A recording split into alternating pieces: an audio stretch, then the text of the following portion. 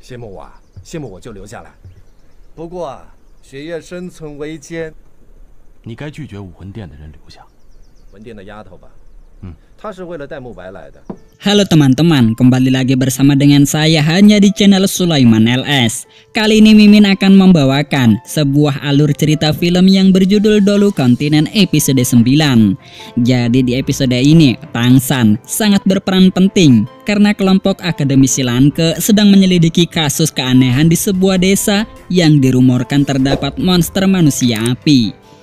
Lalu seperti apakah kelanjutan dari film ini? Langsung saja kita ke alur cerita filmnya. Sebelumnya jangan lupa like, komen, dan subscribe-nya agar Mimin lebih semangat lagi untuk menghibur teman-teman sekalian. Dan selamat menikmati. Awal adegan film yang melanjutkan Tangsan dan juga Ausike dan juga masternya yang sudah diketahui bernama Master Xiaogang yang sedang membahas tentang Master Suyanto yang sedang berada di tempat Akademi Silanke. Padahal Akademi Silanke dan juga Akademi Noding tak ada hubungannya sama sekali. Tak hanya itu saja, Master Xiao memberikan selembaran kertas kepada Tangsan. Selembaran itu berisikan sebuah informasi mengenai sekolah akademi Silanke yang sudah memenuhi persyaratan untuk mengajar. Bahkan sebenarnya wali kota Suto telah memberikan persyaratan itu sejak lama kepada kepala sekolah Silanke namun kepala sekolah itu tidak menerima tawaran tersebut karena Lande tahu jika wali kota Suto telah ditekan oleh Suyanto. Tangsan di sini tak mengetahui jika Master Suyanto merupakan orang yang sangat penting di Akademi Silanke. 是他有能力影响一城之主吗？再加上武魂殿执事的出现，这只能假的？听说城主一直想 Master Xiao mengatakan jika Master Suyanto adalah murid dari leluhur pertama dari Balai Roh Pelindung.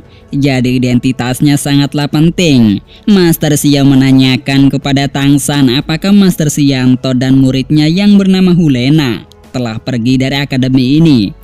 Tangsan mengatakan jika Master Suyanto telah pergi, sedangkan Hulena masih berada di akademi. Lalu Master Xiao meminta untuk dipertemukan dengan Lande karena perasaannya masih belum tenang setelah kedatangan Master Suyanto. Hingga singkatnya, Ausika pun langsung mempertemukan Xiaogang dengan Lande. Pada saat pertemuan itu, ternyata Master Xiaogang dan juga Master Lande merupakan seorang teman. Kemudian Master Lande pun langsung menghampiri Master Xiaogang dengan menggunakan kekuatan roh pelindung berupa sayap terbang.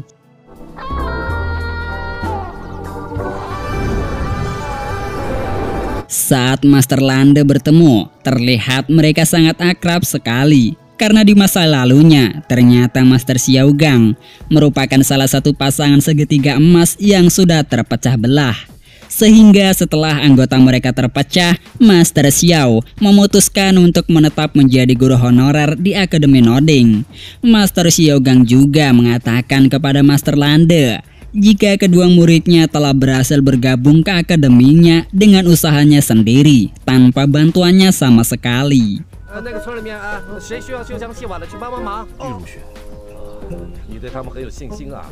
Usai percakapan itu, terlihat Master Lande dan juga Master Xiao Gang sedang membicarakan sesuatu.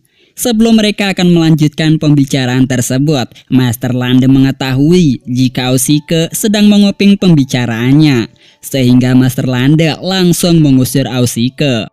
Setelah Ausike pergi, Master Xiao bertanya kepada Master Lande mengenai hubungan akademi yang telah dikelola oleh Master Lande. Apakah ada hubungannya dengan Akademi Noding? Namun Master Lande menjelaskan jika ia tak memiliki hubungan dengan Akademi Noding. Memang pada saat itu telah datang Master Suyanto yang mengantarkan seorang murid perempuan untuk masuk ke akademinya yaitu Hulena karena Hulena yang ngebet ingin bertarung dengan Dai Mubai. Sehingga Master Suyanto mengizinkan Hulena untuk masuk ke akademi milik Master Lande. Master Lande juga ternyata telah mengetahui identitas yang sebenarnya dari Master Suyanto yang merupakan murid dari Bibi Dong yang pertama. 史兰克跟武魂殿 真没关系，跟谁也不说他是武魂殿首宗比比东的亲传弟，就剩一张嘴了。看来的，哦，戴沐白这个小子， Di sini Master Xiao menyuruh Master Lande agar tak menerima Hulena yang berasal dari Balai Roh Pelindung karena ia takut jika Balai Roh Pelindung akan berbuat ulah kepada Akademi Silangke. Akan tetapi Lande malah menolak usulan dari Master Xiao karena mengingat jika Lande telah mendapatkan uang yang sangat banyak dari Hulena. Oleh sebab itu, meskipun Hulena berasal dari roh pelindung, akan tetapi Lande tak akan pernah berhubungan dengan organisasi Balai Roh Pelindung. Sebenarnya Master Xiao sangat khawatir jika Hulena akan mengganggu Tangsan dan juga Xiao. Master Xiao pun meminta kepada Master Lande agar ia diperbolehkan untuk mengajar di sekolah Akademi Silanke tanpa digaji sekalipun. Karena ia sudah berjanji kepada Tang San akan mendampinginya dalam proses pembelajarannya. Karena ia sudah diberikan amanat oleh ayah Tang San agar menjaga Tang San sebaik mungkin.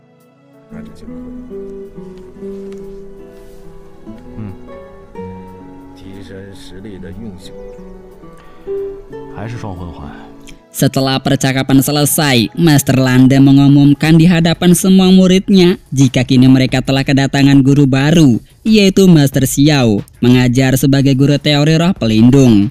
Setelah pengumuman itu selesai, terlihat Tang San bersama dengan Ausike sedang mencari kamar untuk Tang San. 我们男生寝舍，戴大哥的床，我的床，他去他想去的任何地方。但是等等，我从小到大都没见过他有朋友了。 你从小到但是学院有规定，男生不能骚扰女学员。 Pada saat itu Osike menanyakan kepada Tang San mengenai beberapa jumlah cincin yang dimiliki oleh Master Xiao.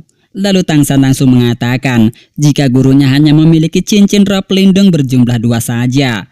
Sontak saja Osike dan juga Daimobai pun hampir tak percaya dengan perkataan Tang San karena jumlah cincin roh pelindung semakin tinggi akan semakin kuat dan dihormati. Akan tetapi jika cincin roh pelindungnya jika hanya dua saja maka akan selalu dihina dan direndahkan. Bahkan dianggap remeh karena nilainya sangatlah lemah. Tang San yang mendengar jika gurunya telah dihina, ia mencoba untuk membela gurunya tersebut karena berkat guru Xiao, kekuatan roh pelindungnya bisa meningkat lebih kuat. 老师的理论是全斗罗大陆最厉害的。个两魂环给我们上课，院长开什么玩笑啊？魂环 Tak lama datanglah guru Xiao yang memanggil Tang San untuk pergi ke suatu tempat. Saat itu Osike menanyakan kepada Dai Mubai atas ketidaksenangannya kepada Tang San. Dai Mubai mengatakan jika ia merasa aneh dengan Tang San saat melawan guru Zawuji karena Tang San menggunakan kekuatan yang aneh. Dai Mubai mengira jika Tang San telah menggunakan kekuatan sesatnya untuk melawan Zawuji. Bahkan Dai Mubai mengatakan jika Tang San memiliki kekuatan yang sangat istimewa pada dirinya. 这儿，走，不生气了。哎，大哥，明天就上课了。早安小慧就被人收买了。 saat setelah percakapan itu selesai, terlihat Tang San dan juga gurunya dan juga Xiaowu sedang menempa besi.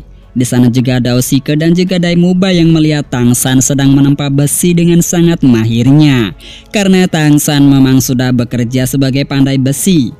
Lalu siang harinya terlihat Guru Xiao yang sedang mengajar anak-anak didiknya mengenai tentang roh pelindung rumput biru perak milik Tang San.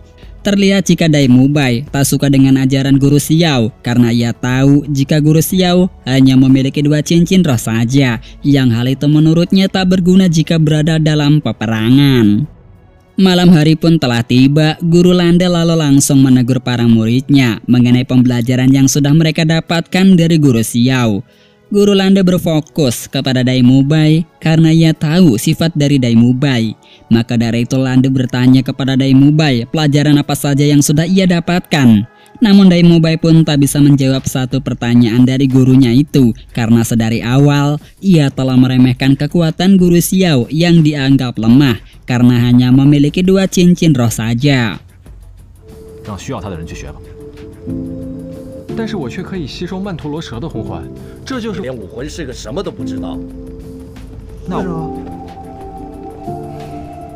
Pada pagi harinya Guru Landa dan juga Guru Xiao mengumpulkan semua muridnya untuk memeriksa sebuah desa yang terlihat sangat aneh karena ia menerima laporan dari para saudagar kaya raya untuk memeriksa desa tersebut.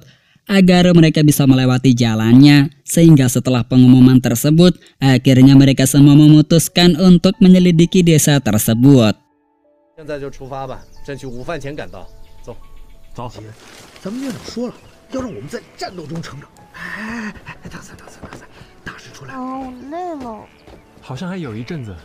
Singkatnya setelah sampai di sebuah tempat, Guru Landa langsung menyerahkan tugas untuk memeriksa desa kepada para muridnya untuk menemukan hal aneh apa yang sudah dilihat oleh para saudagar kaya raya.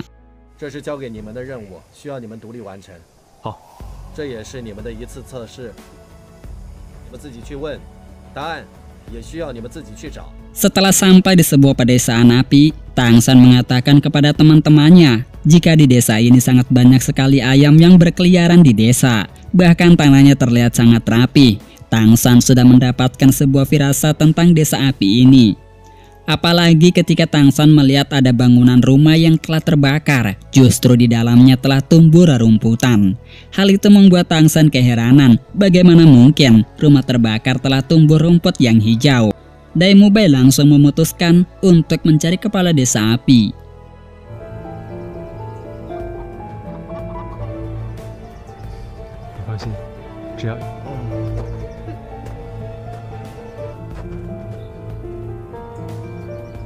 Tak lama mereka telah menemui kepala desa. Daimubai langsung bertanya kepada kepala desa mengenai rumor yang beredar menurut perkataan dari saudagar kaya raya yang telah melihat sesosok manusia yang menyerupai api dan diselimuti oleh asap berwarna hitam.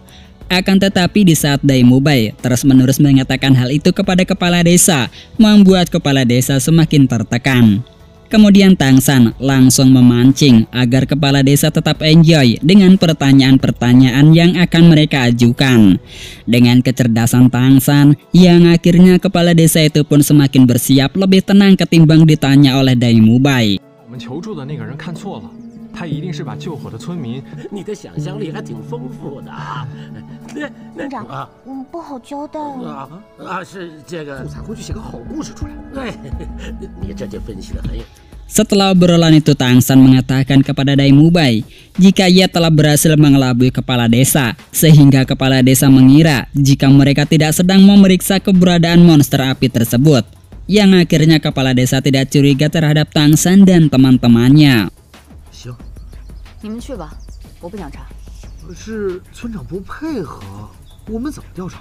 以后有什么事情，我希望你能提前跟我商量一下。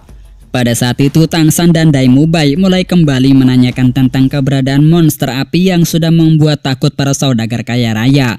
Pada awalnya kepala desa tak mengakuinya.